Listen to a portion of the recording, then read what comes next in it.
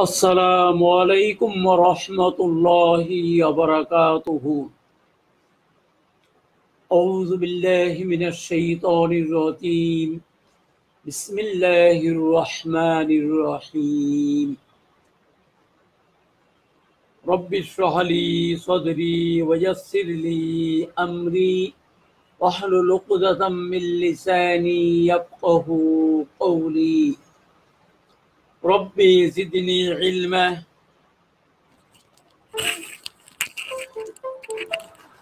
ربي يسر ولا تعسر وتمم علينا بخير সুপ্রিয় দর্শক ও শ্রোতা মণ্ডলী আল্লাহ সুবাহানা ওয়া তাআলার উপর পরিপূর্ণ তাওয়াক্কুল করে আমরা শুরু করছি আমাদের ধারাবাহিক আলোচনা দাওরাতুল কোরআন তিনশত দার্স বিশিষ্ট কোর্সের দুইশত নয় নম্বর দার্স। এ দার্সে আমরা আমাদের আগের ধারাবাহিকতা অর্জন করে উলুমুল কোরআনের সহজ পাঠ এই কিতাবের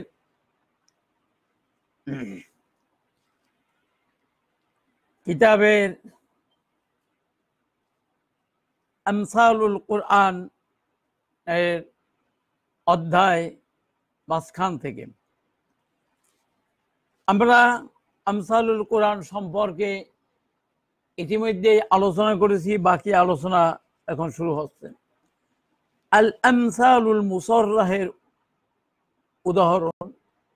এরশাদ হচ্ছে দুই নম্বর সুরার দুইশত একষট্টি নম্বর আয়াতে আল্লাহ সুবাহান বলেন أعوذ بالله من الشيطان الرجيم. بسم الله الرحمن الرحيم. مثل الذين ينفقون أموالهم في سبيل الله. سبيل الله كمثل حبة أنبتت سبع سنابيل في كل سنبلة. سنبلة منه سنبلة مئة حبة لكن سنبلة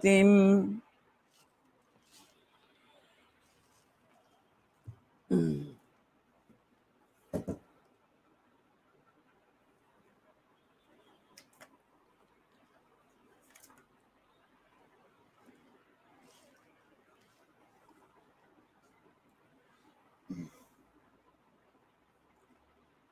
পুরাটা আমি পড়ছি مثل الذين ينفقون أموالهم في سبيل الله كمثل حبة حبة أنبتت سبع سنابل في كل سنبلة مئة حبة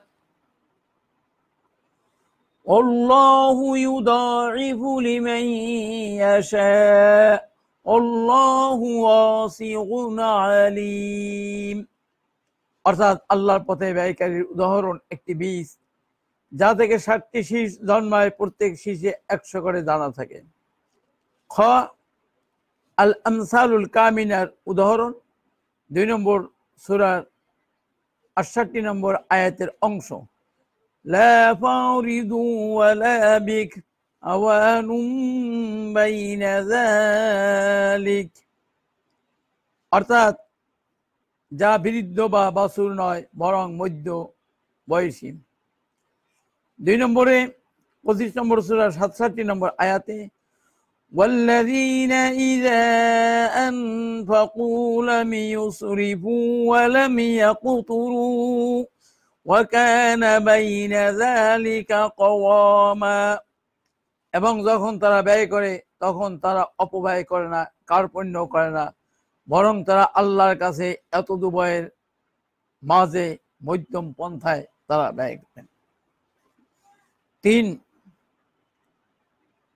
সতেরো নম্বর দশ নম্বর আয়তে لا تجهر بصلاتك ولا تخافت بها وابتغ بين ذلك سبيلا অর্থ নামাজের স্বর উঁচু বা ক্ষীণ না করে মধ্যম বন্ধ অবলম্বন করো গ, আল আমসালুল মুরসালাল উদাহরণ বারো নম্বর সুরার একান্ন নম্বর আয়াতের সাদ হচ্ছে আল হাসাল হক।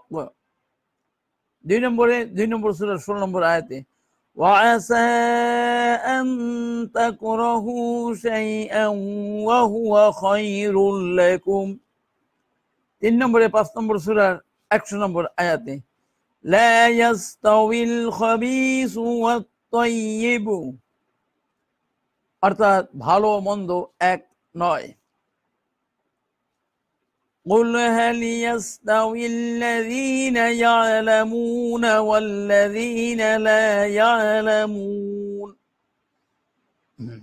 এটা পাঁচ নম্বর সুরার এটা উনচল্লিশ নম্বর সুরার নয় নম্বর আয়াত ছয় নম্বরে সাতাইশ নম্বর সুরার তিরিশ চল্লিশ নম্বর আয়াতে ومن شكر فإنما يشكر لنفسه সাত নম্বরে একচল্লিশ নম্বর চৌত্রিশ নম্বর আয়াতে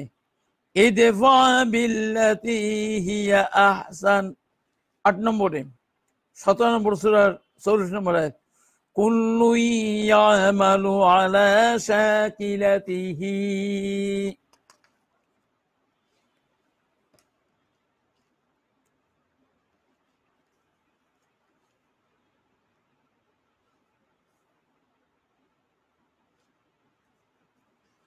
এছাড়া আল কোরআনের মাসালগুলোতে সওয়াব, মাদহা, প্রশংসা, জাম, নিন্দা, আজর বিনিময় একব শাস্তি, কোনো কাজে উচ্ছ্বসিত প্রশংসা কিংবা তুচ্ছ করা ইত্যাদি নানাবিধ বস্তু সামিল রয়েছে। এ আলোচনা দ্বারা প্রতীয়মান হয় যে আল কোরআনে ব্যবহৃত উল্লেখিত মাসালগুলো প্রবাদ হিসাবে ব্যবহার হয়নি। যেহেতু কোরআনের স্টাইল ও বাসন ভঙ্গি সবই বিভিন্ন ধরনের, এর সাথে মানবীয় কোনো কিছুর তুলনা হয় না। এ প্রসঙ্গে মার্গলিউথের মন্তব্য পরিণিতযোগ্য তিনি বলেন, the Quran is either is in remit prose in verse it is in style sui generis which is ইনমেটেবল কোরআন মিলযুক্ত গদ্য অথবা পদ্মে পরিবেশিত বাসন ভক্তি বাসন ভঙ্গির দিক থেকে একক, অননুকরণীয়। ডক্টর তাহা হুসাইন এ প্রসঙ্গে বলেন, এতে সন্দেহ নেই যে কোরআন গদ্যের আদি গ্রন্থ কিন্তু তোমরা এও জানো যে কোরআন গদ্য নয় তদ্রূপ কোরআন পদ্মও নয় কোরআন কোরআনই, একে অন্য কোনো নাম দেয়া যায় না। কোরআন এই জন্যে পদ্ম নয় যেহেতু এর স্টাইল এক বিশেষ বৈশিষ্ট্য মণ্ডিত, যা অন্য কোনো পদ্ম সৃষ্টিতে পাওয়া যায় না। হৃদয়গ্রহী ভাব গম্ভীর উদ্দেশ্য উপদেশপূর্ণ, শিক্ষামূলক, অলঙ্কারপূর্ণ, অর্থবোধক, সংক্ষিপ্ত বাক্যে মাসাল। আল্লাহ তাআলা আল কোরআনে মাসাল বা উপমার সাহায্যে দুর্বোধ্য, কম, বোধগম্য বিষয়কে সহজে মানুষকে বোঝানোর চেষ্টা করছেন। আল কোরআনের মাসাল সাধারণে ব্যবহৃত বাক্য নয়। তাই এগুলোকে প্রবাদ হিসাবে ব্যবহার বৈধ নয়।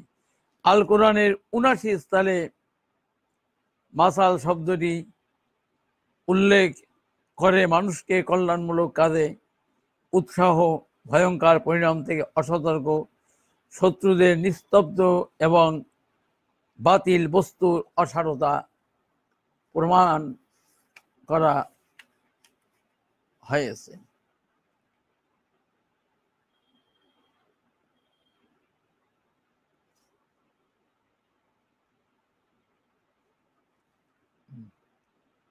এবারে আমাদের সামনে আসছে এই কিতাবের বিশ নম্বর অধ্যায়, আকসামুল কোরআন। অর্থাৎ আল কোরআনের শপথ। এই বিষয়েও আমরা আগেও আলোচনা করেছি।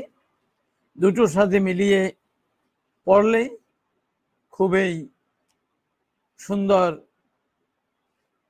হবে। কোনো জিনিসের গুরুত্ব বুঝাতে, কোনো কথাকে ধীর করতে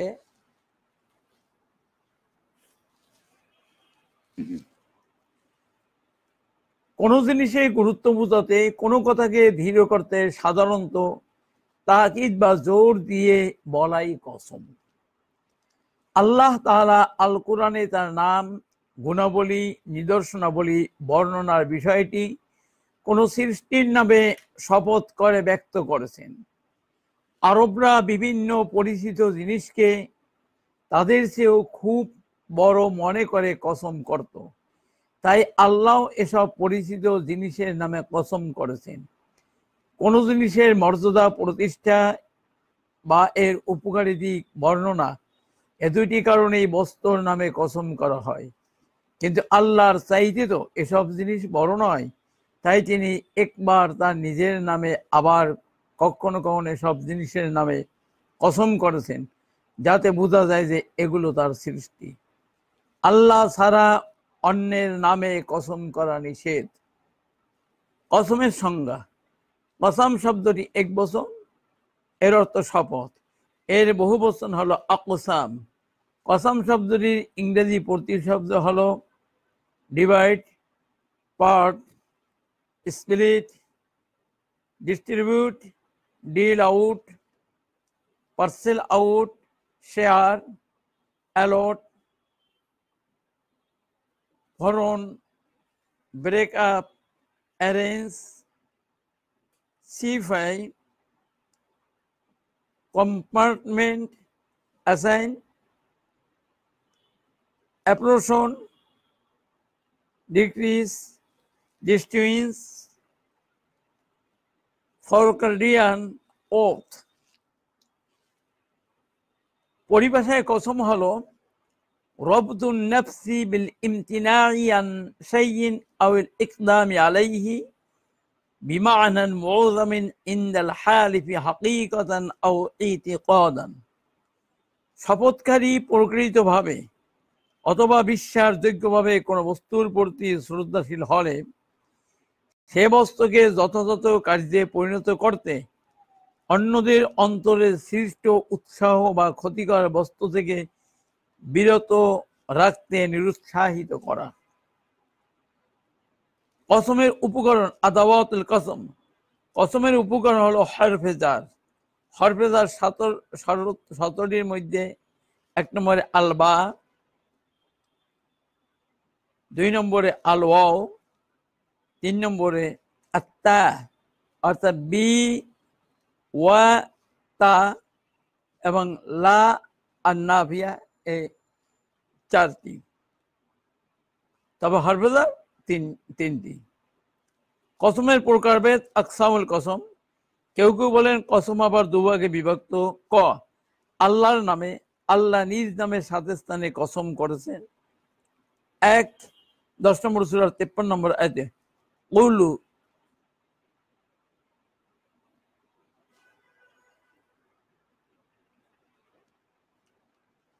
দশ নম্বর সুরার তিপ্পান্ন নম্বর আয়াতে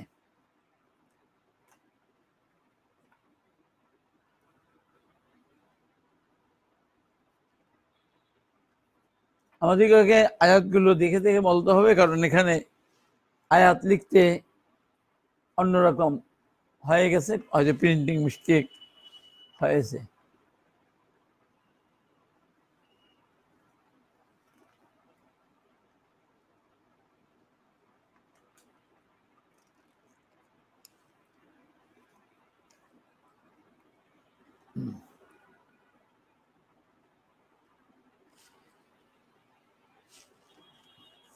ويستنبئونك أحق هو قل إي وربي إنه لحق وما أنتم بمعجزين অর্থ বলুন রবের কসম অবশ্যই তা সত্য দুই নম্বরে চৌষট্টি নম্বর সুরের সাত নম্বর আয়াতে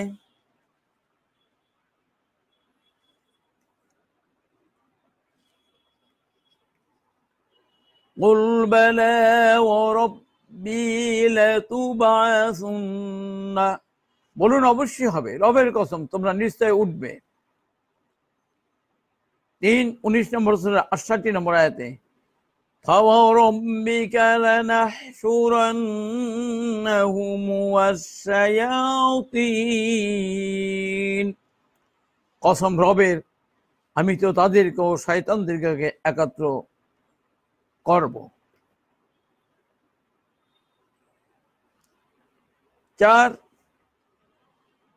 পনেরো নম্বর সুরা বিরানব্বই নম্বর আয়াত فوربك لنحشرنهم والشياطين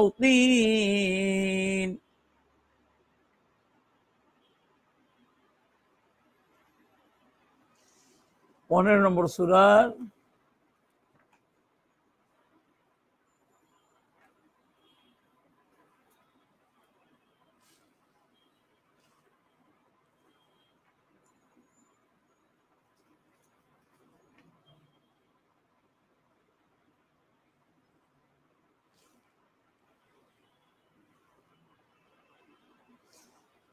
পনেরো নম্বর সুরার বাউন্ন নম্বর আয়াত হইল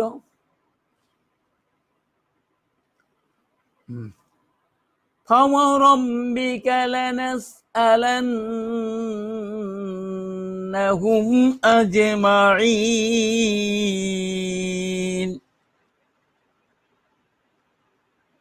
কিন্তু এখানে আগের একটাই কপি করে দিয়েছে পাঁচ নম্বরে চার নম্বর সুরার পঁয়ষট্টি নম্বর আয়াত। ফালা ওরব্বিকা লা ইউমিনুনা হাত্তা ইউহাক্কিমুকা ফিমা শাজারা বাইনাহুম। কসম, নিজেদের বিরোধ, মীমাংসায় তারা আপনাকে বিচারক মেনে দ্বিধাহীন চিত্তে সর্বান্তক্রমে আপনার বিচার মেনে নেওয়া পর্যন্ত বিচারক মেনে না নেওয়া পর্যন্ত তারা মুমিন হবে না। ছয় নম্বরে, সত্তর নম্বর সুরা চল্লিশ নম্বর আছে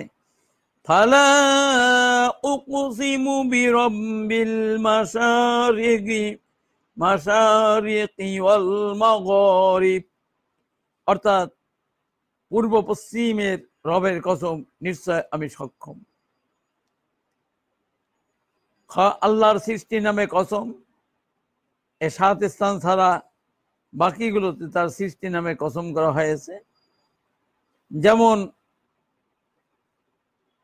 ওয়াল্লাইলি ওয়াশামসি ওয়াসসাফাতি ওয়াত্তিনি ওয়াজ্জাইতুনি ওয়াদ্দুহা ফালা উকসিমু বিল খুন্নাস ইবনে কাইয়িম বলেন, আল্লাহর সৃষ্টি নামে কসম করে তার বড় নিদর্শন প্রকাশ করেছেন কেউ কেউ বলেছেন মহান আল্লাহ তারা কসম করে তিনটি বিষয়। এক, তার নিজের খ তার ফেল বা সৃষ্টির, যেমন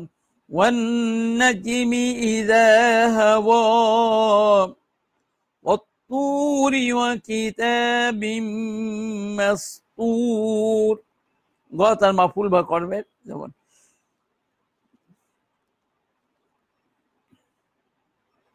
সুরত শামসের এক থেকে সাত নম্বর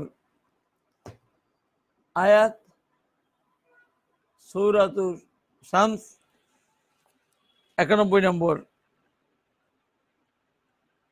আয়াত একানব্বই নম্বর সুরা অর্থাৎ একানব্বই নম্বর সুরার এক থেকে সাত والشمس وضحاها والقمر إذا تلاها والنهار إذا جلاها والليل إذا يغشاها والسماء وما بناها والأرض وما طحاها ونفس وما سواها.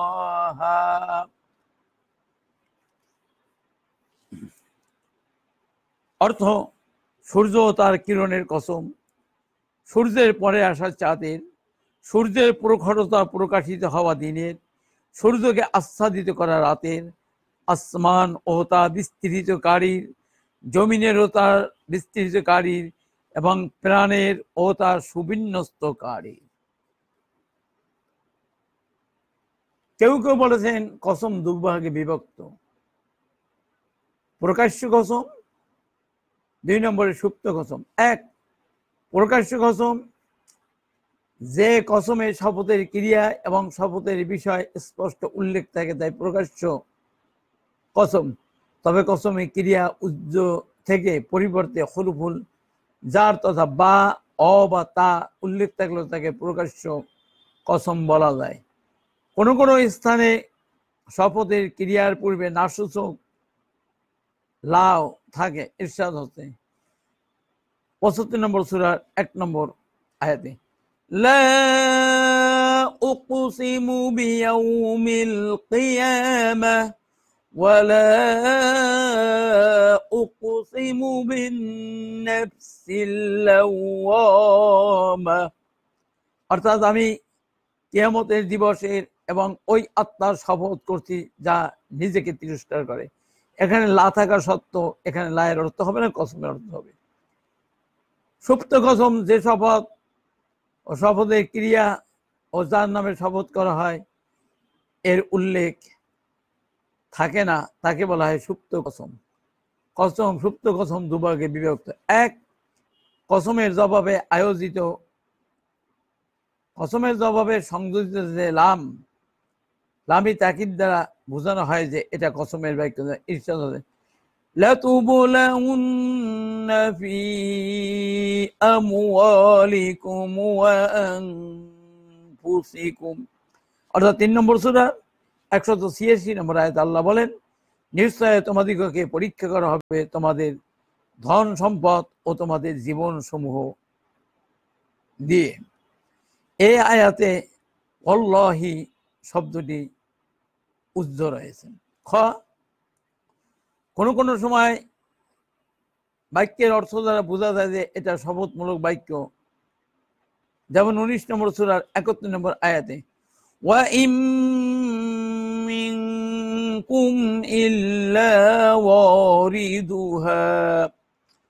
অর্থ, এবং তোমাদের মধ্যে এমন কেউ নেই নাই যে সেটি অতিক্রম করবেন অর্থাৎ পুলসিরা পার হবে না। এই আয়াতে অল্লাহ শব্দটি উল্লেখ রয়েছে।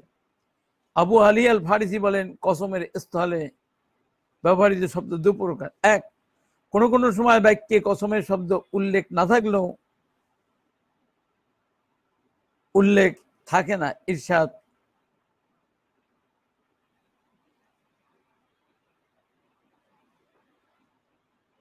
সাতান্ন নম্বর সুরার আট নম্বর আয়াতে وقد أخذ ميثاقكم إن كنتم مؤمنين অর্থ এবং নিশ্চয় আল্লাহ তোমাদের থেকে ওয়াতা নিয়েছেন তোমরা যদি তাতে বিশ্বাসী হও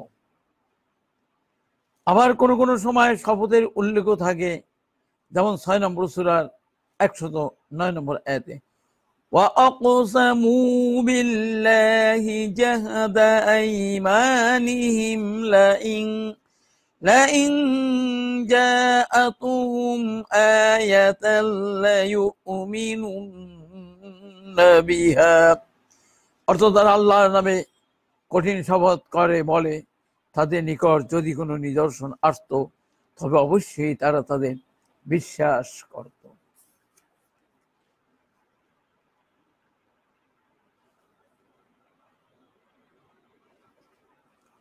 কসমের উদ্দেশ্য কি? এক, ইবনে কাইয়িম বলেন আল কসদু বিল কসামি তাহাকিকুল খবরি ওয়া তাওকীদিহি। অর্থাৎ সংবাদকে সুপ্রতিষ্ঠিত ও জোরালো করাই কসমের মূল উদ্দেশ্য আল ইতকার সাধারণত কসম দ্বারা কোনো বিষয়কে সুদৃঢ় ও মজবুত করা হয়। তা সাক্ষীর আকারে প্রকাশিত ইরশাদ হচ্ছে তেষট্টি নম্বর সুরার এক নম্বর والله يشهد إن المنافقين لكاذبون অর্থাৎ আল্লাহ সাক্ষ্য দিচ্ছেন যে মুনাফিকরা অবশ্যই মিথ্য এ আয়াতে আল্লাহর সাক্ষী দ্বারা মুনাফিকদের মিথ্যাবাদীদার বিষয়টি সন্দেহাতীত ভাবে প্রমাণিত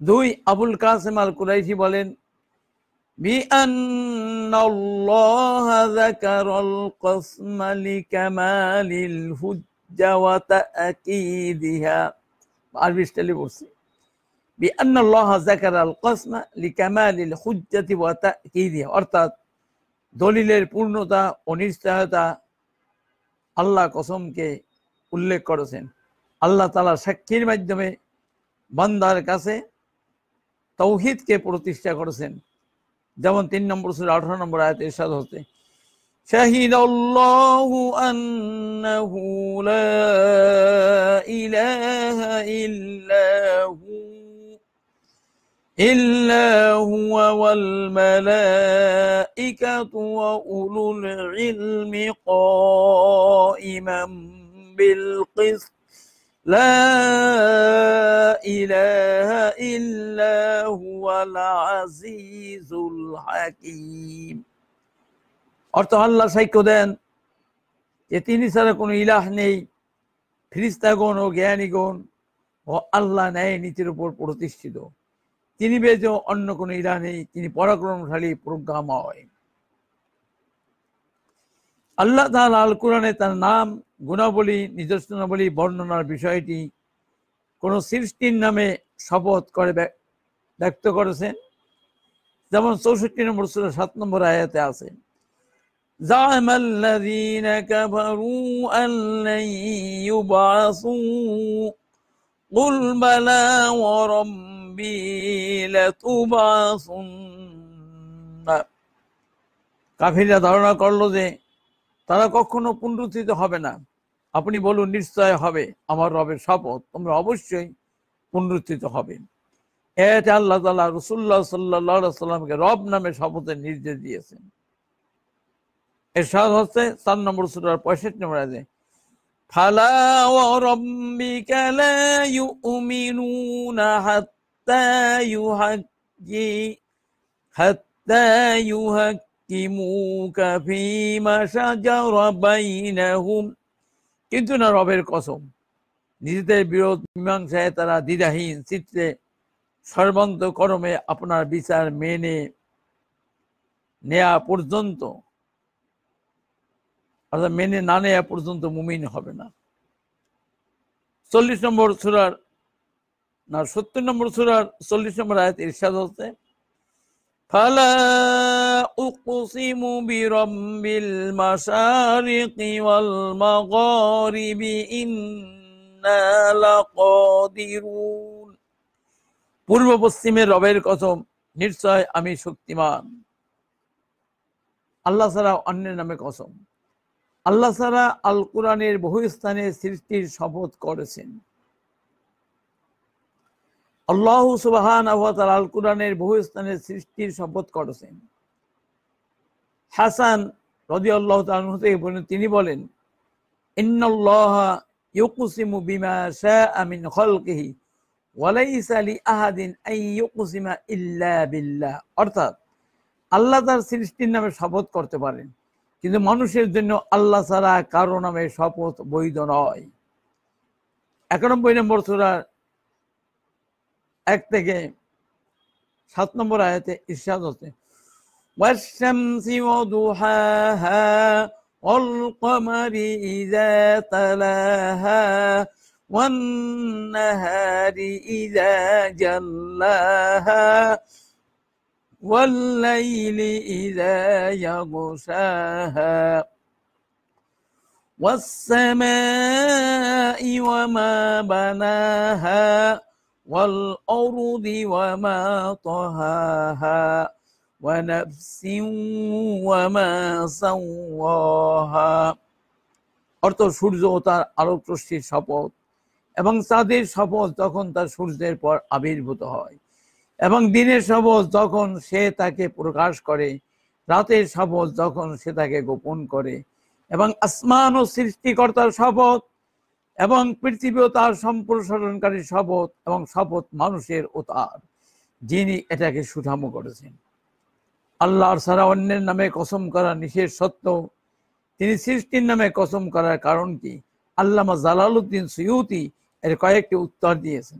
এক, আসলে যেসব স্থানে আল্লাহ সৃষ্টির নামে কসম করেছেন, সেখানে আল্লাহু মুজাব সম্বন্ধবর্তী উল্লেখ আছে, যেমন, ওয়াত্তিনি ওয়াত্তিনি ওয়াশামসি এর অর্থ হবে অরব্বুত্তিনি অরব্বুর শামসি অর্থাৎ তিন এবং শামসের রব। দুই, আরবরা এসব পরিচিত জিনিসকে খুব বড় মনে করে কসম করত। তাই আল্লাহ এসব পরিচিত জিনিসের নামে কসম করেছেন। তিন, কসমকারী এসব জিনিসকে তাদের চেয়েও খুব বড় মনে করে কসম করত। কিন্তু আল্লাহর চাইতে তো এসব জিনিস বড় নয়। তাই তিনি একবার তার নিজের, আবার কখনো এসব জিনিসের নামে কসম করেছেন, যাতে বোঝা যায় এগুলো তার সৃষ্টি। চার, ইবনে আবিল অসমি বলেন, আল্লাহ সৃষ্টির মাধ্যমে কসম করে বুঝিয়েছেন যে এগুলো সৃষ্ট বস্তু। তাহলে সৃষ্ট বস্তুগুলোর অবশ্যই স্রষ্টা আছে, কারণ কর্ম সংগঠিত হতে কর্তার অস্তিত্ব অত্যাবশ্যকীয়। অর্থাৎ যার মাফুল হবে, তার ফাইল অবশ্যই আছে। পাঁচ, আবুল হাতিম হাসান থেকে বর্ণনা করেন, আল্লাহ সৃষ্টি বা নিজে কারও নামে কসম করতে পারেন, আর মানুষ শুধু আল্লাহর নামেই কসম করতে পারে। ইবনে আবি আল আসমাই সম্পর্কে বলেন আল কসামু বিল মসনুয়াতি ইয়াস্তালজিমুল কসামা বিস সানি'i لأن ذكر المفعول يستلزم ذكر الفاعل إذ يستحيل وجود مفعول بغير فاعل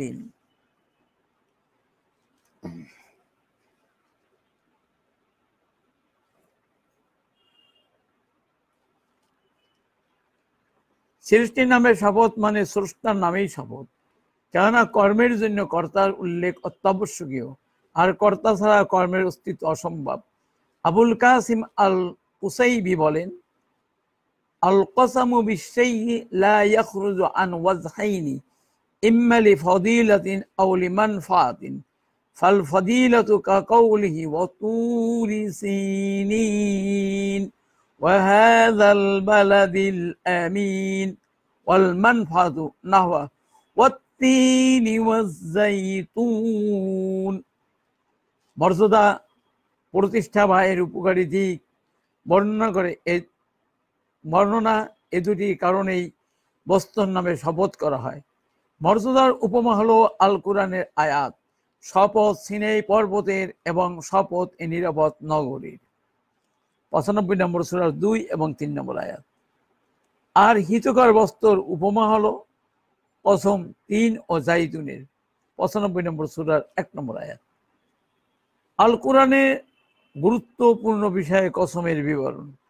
আল্লাহর বিধান হলো ইমান তৌহিদ, কোরআন, রসুল, প্রতিদান, পুরস্কার, প্রতিশ্রুতি এবং মানুষের বিভিন্ন অবস্থা বিষয়ে আল কোরআনে বহু গুরুত্বপূর্ণ বিষয়ে শপথ করা। যেমন, এক তৌহিদের পক্ষে আল্লাহ তাআলা শপথ করেছেন ইরশাদ হস্তে সাঁত্রিশ নম্বর সুরার এক দুই তিন ও চার নম্বর এক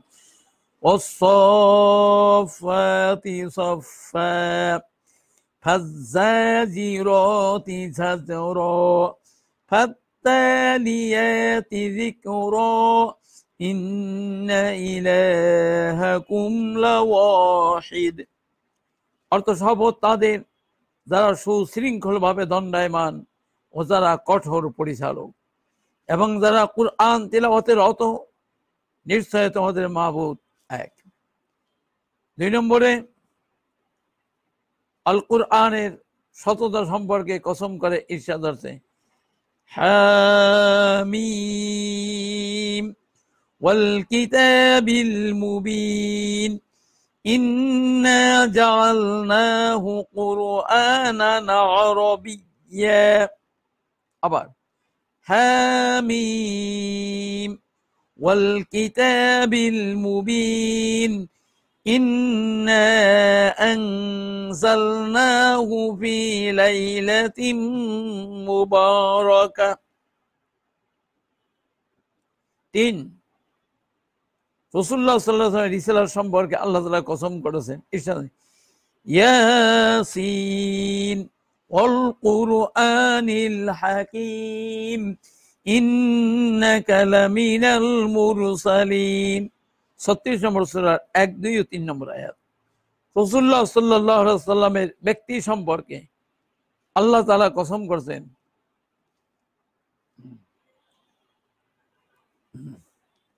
লাআমরুকা ইন্নাহুম লাফি সাকরাতিহিম ইয়ামাহুন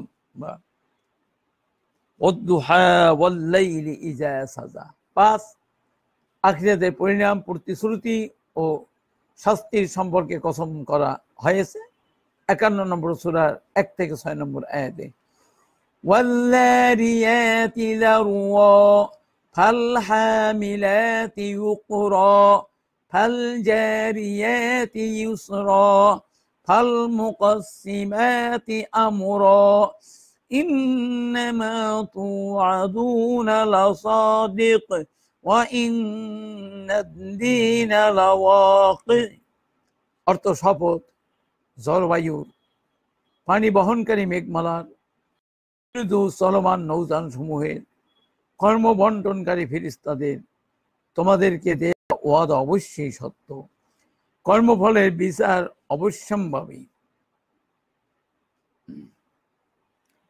এরপর বাউন্ন নম্বর সুরার এক থেকে ছয় পর্যন্ত আয়াত والطور وكتاب مسطور في رق منشور والبيت المعمور والسقف المرفوع والبحر المسجور অর্থ কসম তুর পাহাড়ের লিখিত কিতাবের খোলা পাতার বাইতুল মামুরের উঁচু স্থানের আসমানের ও উত্তল সমুদ্রের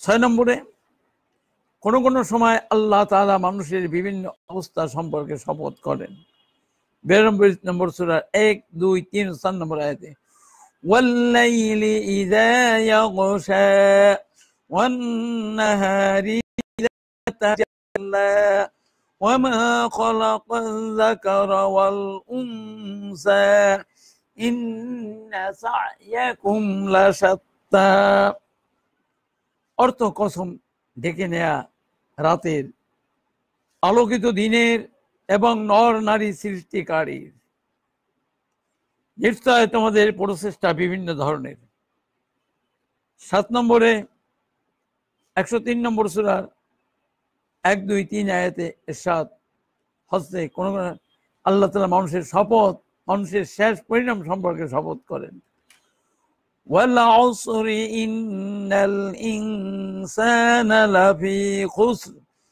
إلا الذين آمنوا وعملوا الصالحات وتوا وتواصوا بالحق وتواصوا بالصبر অর্থ কসম যুগের নিশ্চয় মানুষ ক্ষতিগ্রস্ত তবে মুমিন নেককার এবং পরস্পরকে সত্য ও সবরের উপদেশ দাতারা নয়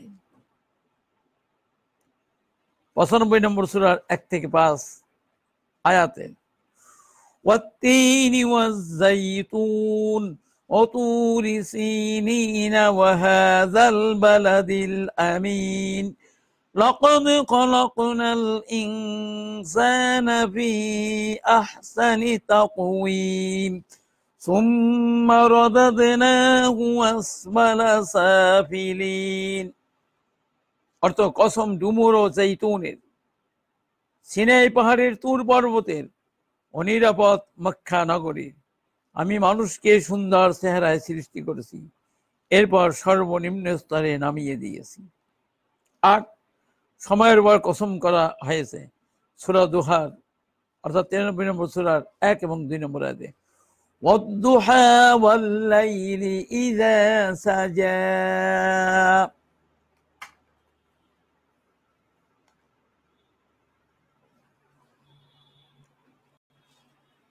শপথ চাষতের এবং গভীর রাতের। কোনো কোনো সময় আল্লাহ তালা মানব সৃষ্টি সম্পর্কে কসম কসম করেছে। তিরানব্বই নম্বর সুরার এক এবং দুই নম্বর আয়দে লা উকসিমু বিহাযাল বালাদ।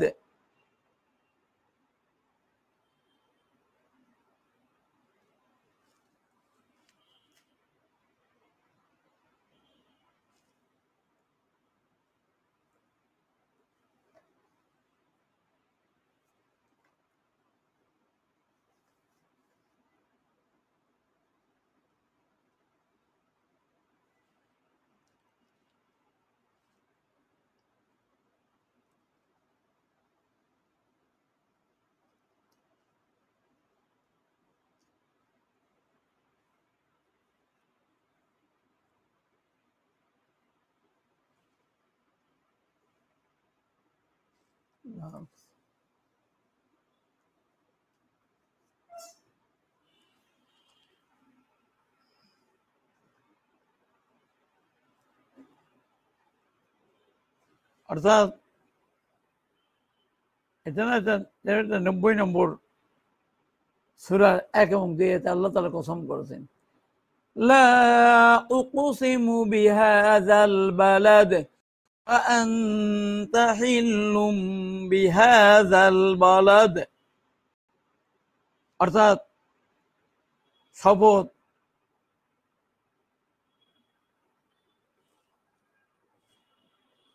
এ শহরের শপথ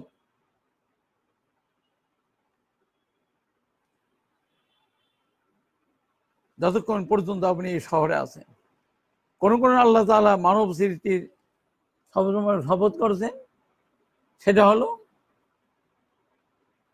ووالد وما ولد لقد خلقنا الإنسان في كبد এটা হলো নব্বই নম্বর সুরার তিন এবং চার নম্বর আয়াত এগারো নম্বরে শপথ বা শপথ যে কোনো বিষয়কে নিশ্চিত মজবুত ও প্রতিষ্ঠিত করে আল্লাহ তাআলা মহান। এই বিষয়টি বান্দাকে বোঝানোর জন্য আল কোরআনে তার নাম, গুণাবলী, নিদর্শনাবলী, বর্ণনার বিষয়টি কোন সৃষ্টির নামে শপথ করছেন। আরবরা বিভিন্ন পরিচিত জিনিসকে তাদের চেয়েও খুব বড় মনে করে কসম করত। কিন্তু আল্লাহ তাআলা সে এসব পরিচিত জিনিসের নামে কসম করেছেন, যাতে বোঝা যায় যে এগুলো তার সৃষ্টি। তার সৃষ্টিকে যখন তারা বড় মনে করে, তাহলে সৃষ্টির স্রষ্টাকে তো আরও বড় মনে করতে হবে। সৃষ্টি যেহেতু আল্লাহর সে বড় নয়, তাই তাকে ছাড়া অন্যের নামে কসম করা যাবে না। আমরা কসমের অধ্যায় আমরা শেষ করলাম। এবার আসছে নতুন একটি অধ্যায় অর্থাৎ জাদালুল কোরআন উনত্রিশটি অধ্যায়ের মধ্যে একুশতম অধ্যায় জাদালুল কোরআন এই অধ্যায়টি।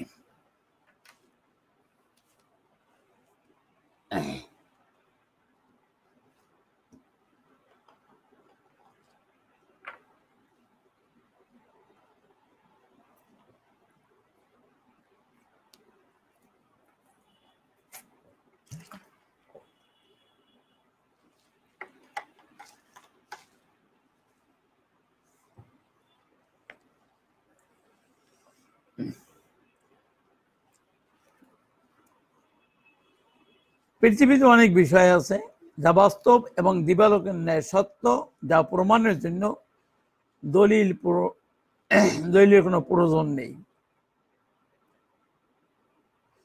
কিন্তু সন্দেহ প্রবণতা কিন্তু যারা সন্দেহ প্রবণ, তারা সকল বিষয় দলিল প্রমাণ খোঁজেন করে বাঘ বিতণ্ডতা। মহাগ্রন্থ আল কোরআন বিভিন্ন পদ্ধতিতে বাতিল পন্থীদের সন্দেহ বিষয়ক মতবাদের শক্তিশালী দলিল প্রমাণ। উত্থাপন করে দাঁত ভাঙ্গা জবাব দিয়েছে। ফলে তারা সত্য গ্রহণে বাধ্য হয়েছে অথবা নির্বিকার হতবম্ব হয়ে গেছে। আল কোরআনে এ ধরনের বিষয়গুলোই জাদল সুতরাং আল কোরআনে বহু স্থানে এগুলো উল্লেখ রয়েছে। আল কোরআনে বিতর্ক বা জাদালুল কোরআন। জাদল শব্দের সংজ্ঞা। আল জাদল শব্দের অর্থ ঝগড়া, বিবাদ, তর্ক, বিতর্ক, পাকানো, শক্ত, কঠিন, বিনুনি, সুদৃঢ়, বন্ধন ইত্যাদি। শব্দটির ইংরেজি প্রতিশব্দ হল quarrel argument debate dispute discussion controversy শব্দটি আরবের জাতালতুল হাবালা বাক্য থেকে উদ্ভূত, যার অর্থ বন্ধনকে সুদৃঢ় করা। সুতরাং মুজাদালার অর্থ বিতর্ক কারীরা তাদের মতামত দিয়ে একে অপরকে বেঁধে ফেলা। নিম্নের আয়াতগুলোকে এ অর্থে ব্যবহার হয়েছে। আঠারো নম্বর সুরার চুয়ান্ন নম্বর আয়াতে আছে ওয়াকানাল ইনসানু আকসারা শাইইন জাদালা অর্থাৎ আর মানব জাতি অধিকাংশ বিষয়ে বিতর্ককারী। পারিপার্শ্বিক অর্থ ইস্তিলাহান। আল জাদাল ও আল জিদাল শব্দ দুটির অর্থ বিরুদ্ধবাদীদের অভিযোগের ভিত্তিতে বিতর্ক করা এবং বিজয়ের লক্ষ্যে একে অপরের মুখাপেক্ষী হওয়া। আবার পড়ছি আল জাদাল আল জিদাল শব্দ দুটির অর্থ বিরুদ্ধবাদীদের অভিযোগের ভিত্তিতে বিতর্ক করা এবং বিজয়ের লক্ষ্যে একে অপরের মুখোমুখি হওয়া। আল কোরআনে ব্যবহৃত আল জদল শব্দটির আরবি প্রতিশব্দ হল আল মুহাওয়ারা দুইজনের মাঝে কথোপকথনকে বলা হয় আল মুহাওয়ারা আল কোরআনে এ শব্দটি ব্যবহৃত হয়েছে। যেমন, ওয়াল্লাহু ইয়াসমাউ তাহাউইরাকুমা আল মুনা তাহাউইরাকুমা। আল মুনাজারা দুটি বিষয়ের সঠিকটি বাছাই করার জন্য গভীরভাবে দৃষ্টি দেয়কে বলে আল মুনাজরা আল মুকাবারা বিবাদীর কথা সঠিক মনে করেও শুধু ঝগড়াকে, ঝগড়াতে অবিচল থাকাকে বলে আল মুকাবার অর্থাৎ নিজেকে বড় মনে করা। আল মোয়ায়নাদা অর্থাৎ না জেনে ফয়সালা বিষয়ে বিতর্ক করাকে বলে আল মোয়ায়নাদা এসবগুলো ভাবে মুফাল্লার মাজদার আল মুনাকাশা কোন জিনিসের চুলচেরা বিশ্লেষণকে বলা হয় আল মুনাকাশা আমরা যে হিসাব নিকাশ বলি, এটাই মুনাকাশারই অন্য অন্য ওজন। হিসাব নিকাশ ভাবে মুফাল্লার মাজদার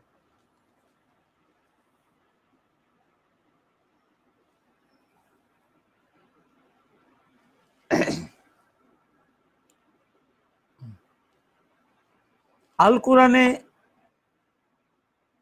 জাদলের প্রকারভেদ আল কোরআনে ব্যবহৃত জাদল দু প্রকার। এক নম্বরে মাহমুদ, প্রশংসনীয়। দুই নম্বরে মাজমুম, নিন্দনীয়। এক, মাহমুদ হলো ওই সমস্ত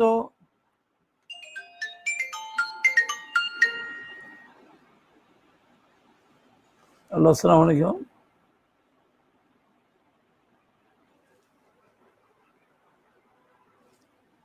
এইটা আরও পনেরো মিনিট।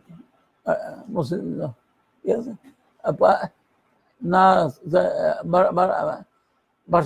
বাসায় আসো, সাড়ে সাড়ে সাতটা, ইনশাল্লাহ। ঠিক আছে? পনেরো, ঠিক আছে ঠিক আছে, বসো, আর আর পনেরো মিনিট।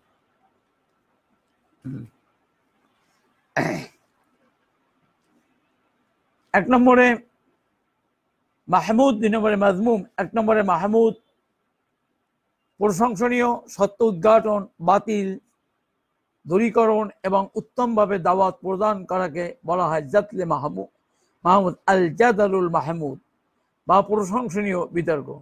উদাহরণ, ষোলো নম্বর সুরার একশো পঁচিশ নম্বর আয়ত আল্লাহ রবুল আলমিন তার নবীকে উত্তমভাবে বিতর্ক করতে আহ্বান জানান উদু ইলা সাবির রব্বিকা বিল হিকমাতি ওয়াল মাউইজাতিল হাসানাতি ওয়াজাদিলহুম বিল্লাতি হিয়া আহসান অর্থাৎ মানুষকে রবের দিকে হিকমত সদুপ সদ সদুপদেশের মাধ্যমে ডাকুন এবং তাদের সাথে বিতর্ক করবেন উত্তম পন্থায়।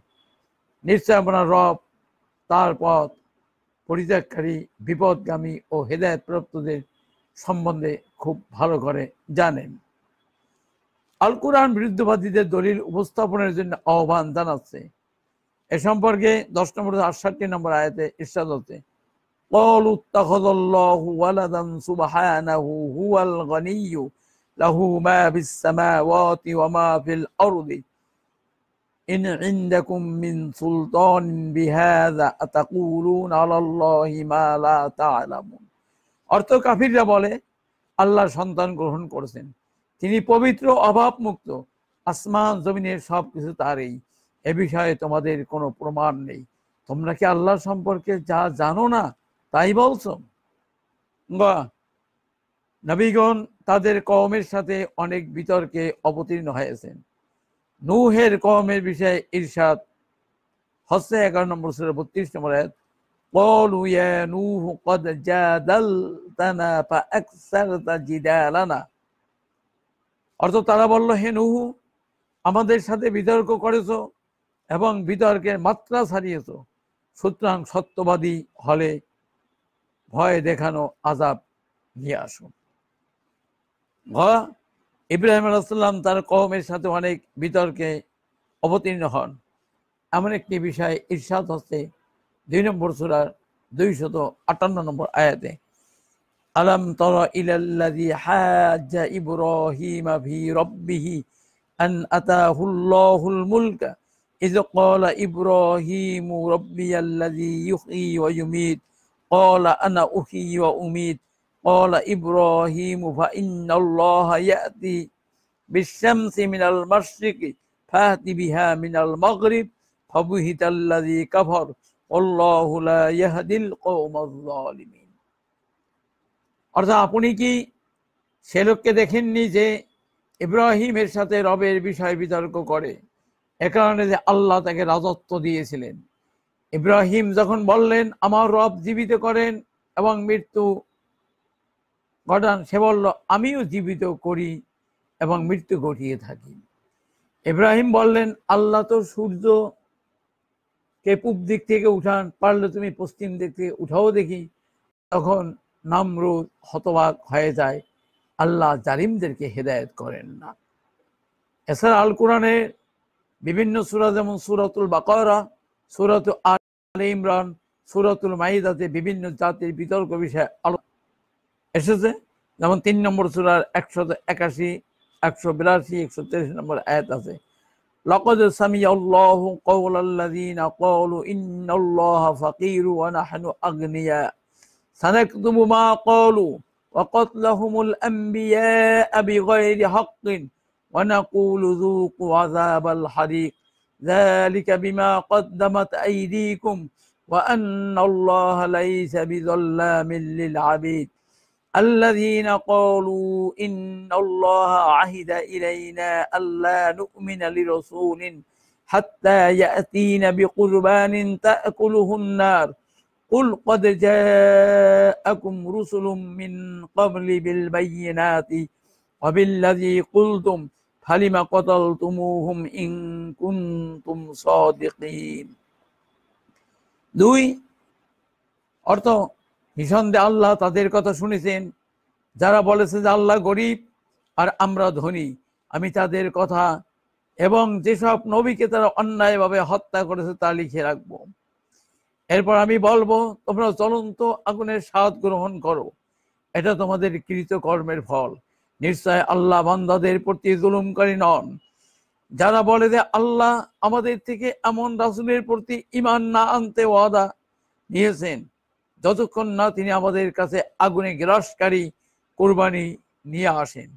বলে দিন, তোমাদের কাছে আমার আগে বহু রসুল স্পষ্ট নিদর্শন সমূহ ও তোমাদের আবদার করা জিনিস নিয়ে আসেন, সত্যবাদী হলে কেন তাদেরকে তোমরা হত্যা করলেন দুই নম্বরে মেজমু, নিন্দনীয়, জয় হওয়া, রিয়া, অহংকার এবং না জেনে জেদ বসত শুধু বিতর্কের জন্য বিতর্ক করাকে যা দলে মজমুম আল মাজমুম বা নিন্দনীয় বিতর্ক। আঠারো নম্বর সুরার ছাপ্পান্ন নম্বর আয়াত ইরশাদ হতে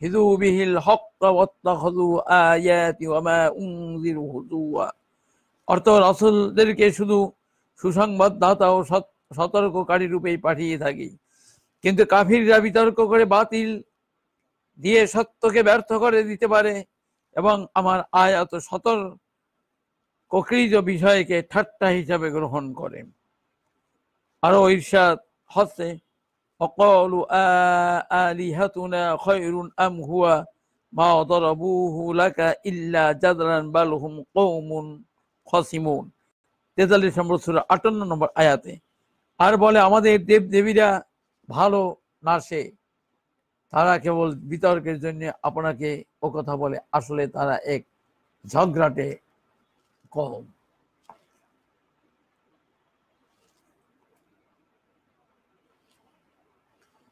আরো ইরশাদ হচ্ছে বাইশ নম্বর সূরা আট নম্বর আয়াতে ومن الناس من يجادل في الله بغير علم ولا هدى ولا كتاب منير অর্থ কিছু মানুষ আল্লাহ সম্পর্কে বিতর্ক করে তাদের না আছে জ্ঞান না আছে দিক নির্দেশনা আর না আছে কোনো আলোকিত কিতাব আল কোরআনে পরিণত বিতর্কের পদ্ধতির প্রকারভেদ আল কোরআনের দলিল প্রমাণ বান্ধব গ্রন্থ।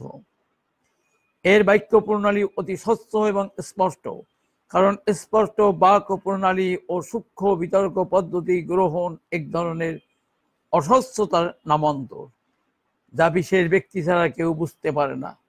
তর্কশাস্ত্রবিদেরা এ পদ্ধতি গ্রহণ করে থাকে। আল কোরআনে বর্ণিত সুনির্দিষ্ট দলিল প্রমাণের অন্তর্ভুক্ত যুক্তিবিদ্যার বিশেষ পদ্ধতির আওতায় আসে না। এগুলোকে সমহিমার, সমহিমায় এগুলো ভাষ্যর বাক পটুত অক্ষমরাই সহজ, সরল স্পষ্ট ভাষায় দলিল উপস্থাপন না করে জটিল বক্তব্যের আশ্রয় গ্রহণ করে। এজন্য আল্লাহ তাআলা তার সৃষ্টির সাথে অতি স্পষ্টভাবে বিতর্কমূলক সম্বোধন পেশ করেছেন। যাতে সাধারণ, অসাধারণ এবং বিশেষ বুদ্ধিমানরাও অনুধাবন করতে পারে। যেমন সূর্য কিরণ সূর্যের অস্তিত্ব প্রমাণ করে। আল কোরআন দলিল প্রমাণ সম্বলিত এক মহাগ্রন্থ। আল কোরআনের মতো সকল বিষয়ের এত তত্ত্ববহুল সার সংক্ষেপ গ্রন্থ বিশ্বে আর দ্বিতীয়টি নাই। এতে বর্ণিত বিষয়গুলো দুভাগে উপস্থাপিত হয়েছে। ক, বিতর্ককারীর ভাষা বিরোধীদের কাছে বোধগম্য হওয়া। বিতর্ক করতে গেলে বিতর্ককারীরা ভাষা বিরোধীদের কাছে বোধগম্য হতেই হবে অন্যথায় একজনের কথা বা যুক্তি অন্যজনের কাছে গালির মতো মনে হবে ফলে কেউ কারো উত্তর সঠিকভাবে দিতে পারবে না তাই আল কোরআন আরবদের পরিচিত ভাষায় অবতীর্ণ হয়েছে ইরশাদ হয়েছে চোদ্দ নম্বর সুরা চার নম্বর আছে وما أرسلنا من رسول إلا بلسان قومه ليبين لهم অর্থ প্রত্যেক রাসুলকে নিজ নিজ ভাষায় পাঠাই, যাতে তাদের কাছে স্পষ্টভাবে বুঝিয়ে বলতে পারে। খ, কিছু বিষয় আছে, একটু দৃষ্টি দিলেই তা বোঝা যায়।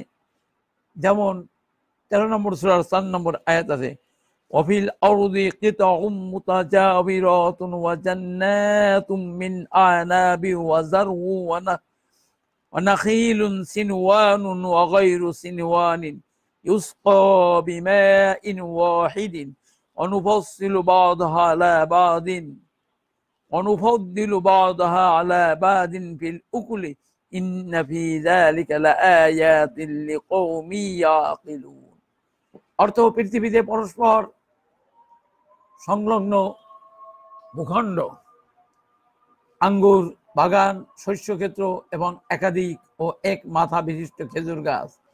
আছে যা একই পানিতে সেচ দেওয়া হয় তবে স্বাদে এগুলো একটি আরেকটি থেকে উত্তম করে থাকি এর মধ্যে বুদ্ধিমান লোকদের জন্য অবশ্যই নিদর্শন রয়েছে আরো ইরশাদ হচ্ছে একুশ নম্বর সুরা চার নম্বর আয়াতে قال ربي يعلم القول في السماء والأرض وهو السميع العليم অর্থাৎ তিনি বলেন আসমান এবং জমিনের সকল কথাই আমার রবের জানা আছে এবং তিনি সর্ব শ্রোতা এবং সর্ব